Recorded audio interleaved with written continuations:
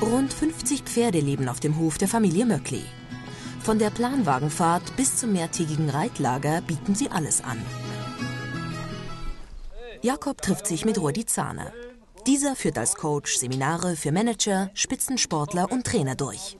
Ralf Krüger, Kirby Kuhn, Tranquillo Barnetta, alle waren sie schon da. Mit dem Pferd zu arbeiten braucht Überwindung. Ja, es kann zum Beispiel sein, dass einer am Anfang kommt, was wir auch erlebt haben, dass er sagt, also ich will nicht auf das Ross zusteigen.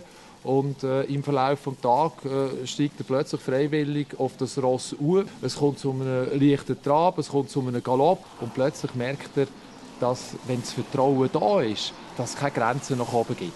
Ole, Ole. Jakob! Ole! Gut.